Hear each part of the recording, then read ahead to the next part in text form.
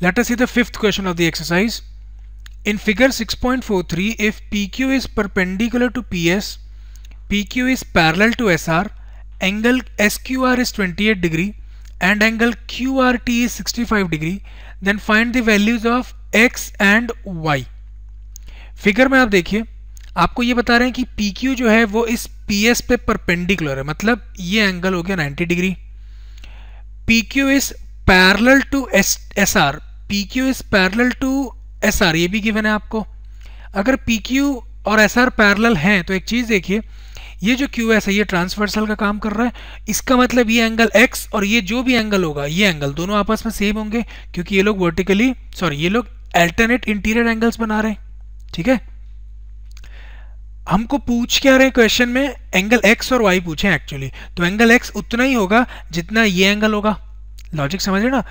Angle x उतना ही होगा जितना ये एंगल होगा। और एक बार एंगल एक्स हमने डिटरमाइन कर लिया तो आप इस ट्रायंगल को देखिए पी क्यू एस इस ट्रायंगल में आपको एक 90 डिग्री पता चल गया और एक एक्स अगर पता चल गया तो एंगल वाई अपने आप निकल जाएगा। एंगल सम प्रॉपर्टी आपको मालूम है कि किसी भी तीनों एंगल का जो सम होता है, ट्रायंगल की ट्रायंगल की तीनों एंगल का जो सम होता है, वो 180 डिग्री होता है। वो प्रॉपर्टी अप्लाई करके हम एंगल वाई निकाल लेंगे, अगर हमको एंगल एक्स पता चल जाए। और एंगल एक्स कितना होगा? जितना ये एंगल होगा। तो अब सबसे पहला काम हमारा ये है कि ये एंगल कितना होगा, वो निकालना। आप फिगर को देखिए।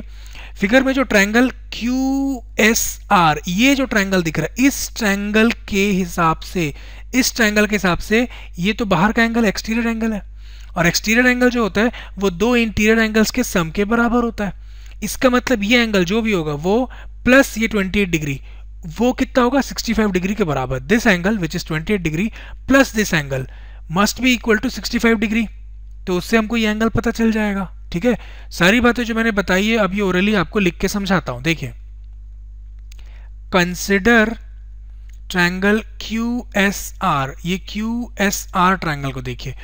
इस ट्रायंगल में एंगल क्यू आर टी जो है, ये एंगल क्यू आर टी जो 65 डिग्री गिवन भी हमको, ये Q R T is exterior angle Q R T is exterior angle तो एक्सटीरियर एंगल की प्रॉपर्टी क्या होती है? वो दो इंटीरियर एंगल्स के सम के बराबर होता है. Therefore we can write angle Q R T as sum of angle R Q S देख सकते हैं R Q S which is 28 degree given in the question plus angle Q S R ये Q लिख रहा था मैं.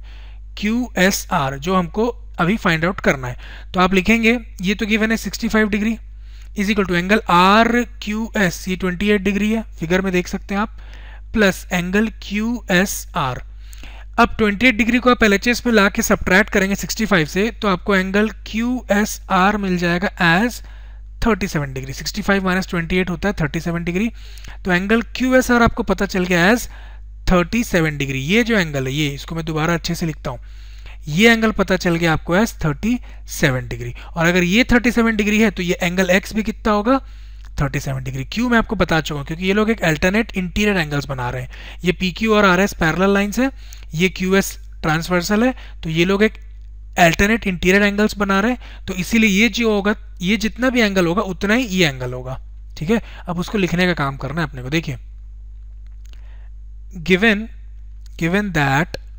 P Q is parallel to S R and Q S is transversal therefore angle P Q S जो angle P Q S जो x है हमारे लिए, वो किसके बराबर होगा? एंगल क्यू एस आर जो हमने 37 डिग्री निकाला। Reason being they are alternate angles ठीक है?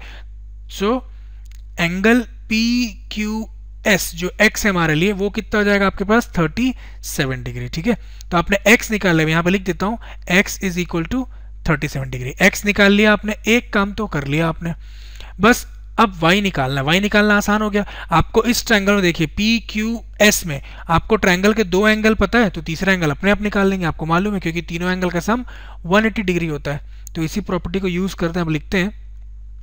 In triangle P Q S ये पी क्यू एस आप लिखेंगे we know that sum of three angles is 180 degree which implies angle S P Q सबको नाम के हिसाब से लिख रहा हूँ, वो जो 90 degree angle S P Q plus angle x, ये जो एंगल x है, जो 37 डिग्री निकाला हमने प्लस एंगल वाई ये जो वाई हमको निकालना है इज़ इक्वल टू 180 डिग्री ठीक है? तो एंगल एस पी क्यू कितना होगा आपके पास? 90 डिग्री होगा, क्योंकि ये तो परपेंडिकुलर था क्यू जो था वो एस पे परपेंडिकुलर था, उस वजह से 90 डिग्री होगा। प्लस एंगल एक्स आपने निकाला 37 degree plus y equal to 180 degree अब क्या करेंगे आप?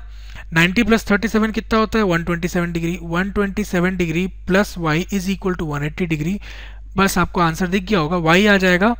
180 माइनस वन डिग्री जब आप साइड चेंज करेंगे तो वाई फाइनली आपको मिलेगा एज 53 डिग्री तो आपको y भी पता चल गया 53 डिग्री और x पता चल गया आपको 37 डिग्री आप देख सकते हैं 53 थ्री प्लस 37 वापस 90 होगा ठीक है?